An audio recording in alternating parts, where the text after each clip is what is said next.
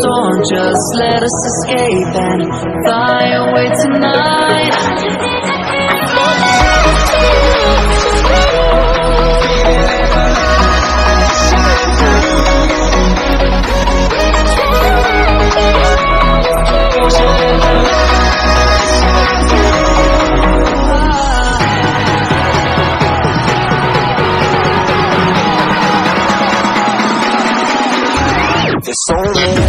Keeping you